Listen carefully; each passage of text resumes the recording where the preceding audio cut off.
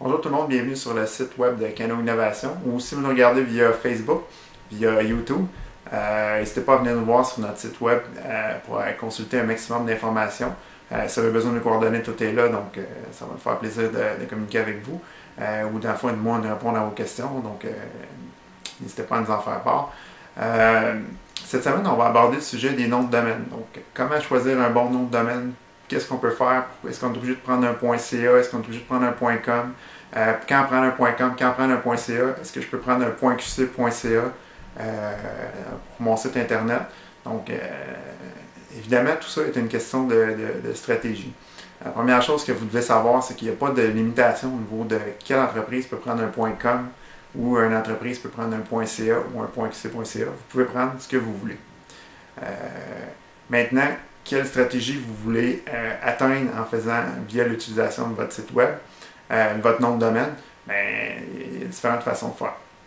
Par exemple, si vous voulez clairement définir que votre entreprise est canadienne, il euh, faut y aller avec un nom de domaine comme .ca. Par exemple, si j'avais une entreprise qui s'appelle, comme dans le cas de Cano Innovation, je voudrais avoir kano.ca. Ben, comme ça, quand les gens visitent mon site web, donc www.kano.ca, ben, ils savent clairement que c'est un site web qui est canadien.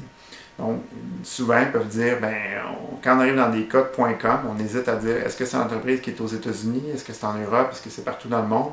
Donc, avec le .ca, généralement, ça rassure les gens. C'est pas un gage, c'est pas certain à 100% que ça va nécessairement être un site qui va être canadien, mais euh, comme on disait, vu que c'est pas quelque chose qui est, qui, est régi, euh, mais 99,9% du temps, si vous avez un site .ca, c'est parce que c'est un site canadien. Donc, si vous voulez dégager une image de un peu comme les Américains font avec le Proud euh, Buy American. Donc, si vous dites les gens, moi je veux que les gens sachent que c'est canadien et qu'ils achètent de mes produits parce que c'est un produit canadien euh, ou que c'est un site, un service canadien, mais vous mettez un .ca et à ce moment-là, c'est gagnant. des fois, il faut utiliser la stratégie si vous arrivez par exemple avec un de domaine, vous voulez avoir kno.com qui n'est pas disponible, vous utilisez le kno.ca. Il faut utiliser, puis normalement, il ne devrait pas avoir de problème. Par contre, il euh, faut juste faire attention au niveau euh, des, marques de commerce. Donc, si vous arrivez avec, euh, vous violez un droit de marque de commerce en utilisant le même site, la même déclinaison via un .ca qu'un .com, ça pourrait vous attirer des troubles. Donc, c'est important de faire attention au niveau du choix de domaine que vous allez choisir pour être certain qu'il est libre de droit et que vous ne violez pas les marques de commerce de personne en faisant ça. Donc, maintenant, au niveau des .com, ce serait quoi l'avantage d'avoir un .com? Évidemment, je vous dirais que c'est ce qui est le plus populaire. Euh, vu que c'est très populaire, c'est difficile d'avoir un, nom de domaine, une combinaison unique sur laquelle vous allez pouvoir avoir votre entreprise. Mais généralement, euh, si c'est quelque je vous dirais que dans le meilleur des mondes, si vous êtes capable d'avoir le .ca qui est libre, le .com, le .net, le .org, toutes les avoir, d'avoir une déclinaison qui est originale et qui, est disponible, et à ce moment-là, vous allez marquer, euh, vous allez prendre l'ensemble de l'œuvre. Donc, vous allez idéalement, il y a des coûts qui peuvent être reliés à ça, mais dépendamment des, de, la stratégie que vous voulez avoir, si vous êtes capable d'avoir tous les noms de domaines possibles, ça va faire en sorte que si la personne tape euh, patate.com ou patate.ca ou patate.net, elle va arriver tout le temps au même endroit. Une autre chose qui est importante de noter aussi, c'est que si vous avez un site internet qui est par exemple euh, patate.com, puis que vous voulez aussi que patate.ca euh, redirige vers patate.com, c'est quelque chose qui est possible de faire. Donc, quand vous arrivez avec votre entreprise, vous dites peu importe ce qui va arriver, va toujours être redirigé vers euh, patate.com. Ou dans le cas de notre entreprise, donc Cano Innovation, donc nous c'est www.cano-innovation.com. Euh, évidemment, je pourrais vouloir avoir, si j'avais une campagne publicitaire, euh, un nom beaucoup plus simple, parce que ça pourrait être difficile. Des fois, les gens peuvent mettre un N, deux N. Est-ce que je un tiret? Est-ce que je ne mets pas de tiret? je peux aller chercher différentes déclinaisons du même nom de domaine, puis après ça, les rediriger vers mon, mon site web principal. Donc, par exemple, j'aurais pu aller chercher www.k-no.com, euh, puis je pourrais l'utiliser dans des publicités radio, dans des publicités euh, euh, journaux, en fait, ou des places où ce que les gens le retiendraient facilement, via des courriels, par exemple, puis faire en sorte que quand les gens vont inscrire www.kno.com, ben, à ce moment-là, ça va être redirigé vers mon site web principal qui est kno-innovation.com.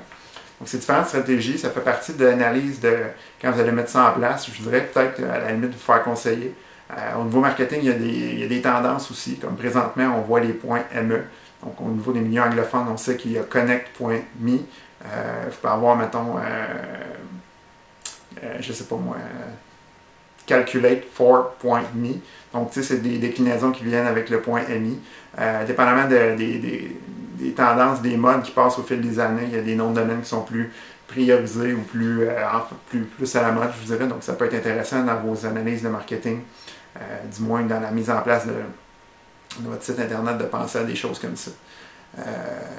finalement, la dernière chose qu'on pourrait dire par rapport au nom de domaine, c'est de, de faire attention pour qu'il soit le plus court et le plus facile à retenir possible. Aussi, ce que vous voulez faire, c'est si vous mettez une stratégie euh, marketing à la radio, par exemple, vous arrivez avec un, je sais pas moi, un, spot, spot radio que vous dites euh, cette semaine en spécial sur notre site internet, venez visiter, blablabla. à ce moment-là, ce que vous allez vouloir faire, ou du moins ce que vous allez vouloir obtenir comme résultat, c'est de faire en sorte que les, gens se rappellent rapidement de l'information. Donc, si votre site Internet est beaucoup trop, compliqué, donc porte et fenêtre, euh, porte et fenêtre euh, les gens ils vont faire des erreurs ou du moins ils vont avoir de la difficulté à le trouver. Donc, généralement, en ayant un nom de domaine simple, court, facile à retenir, comme je pourrais donner l'exemple de coursalamaison.com, donc, au niveau de la commission scolaire de la riveraine de Nicolet, eux, ils ont un site de formation à distance. Euh, ils ont été chercher un site web comme coursalamaison.com, puis ils font de la publicité radio avec ça.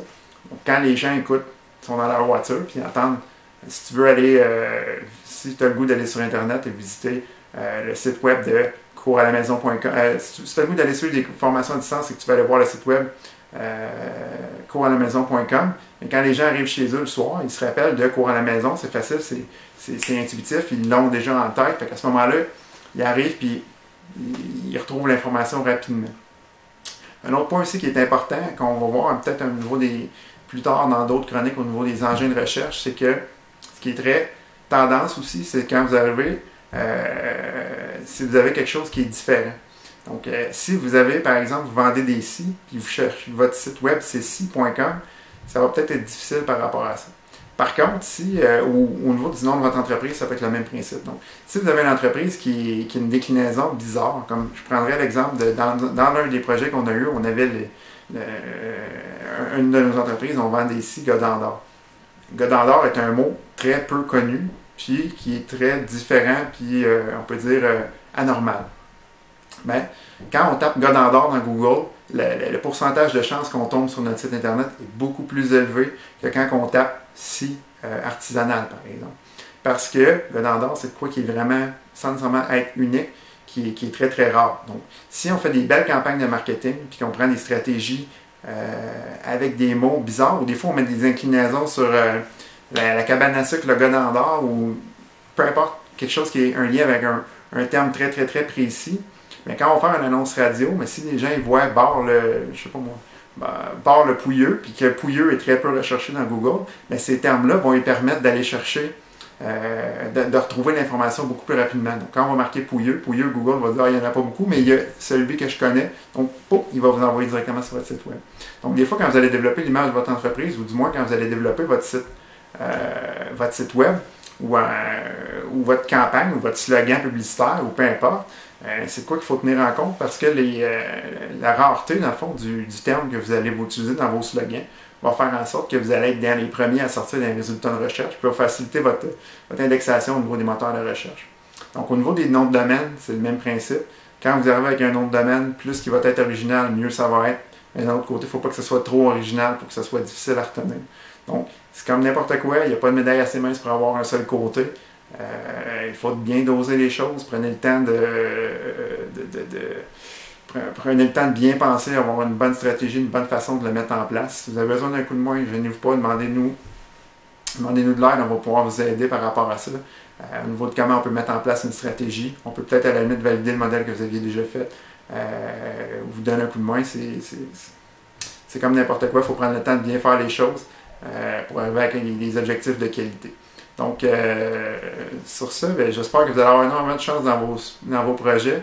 Euh, si vous avez d'autres questions ou des commentaires en lien avec les noms de domaine, des sources d'informations qui peuvent être pertinents pour nos autres clients, pour les autres clients ou les utilisateurs, en fait, n'hésitez pas.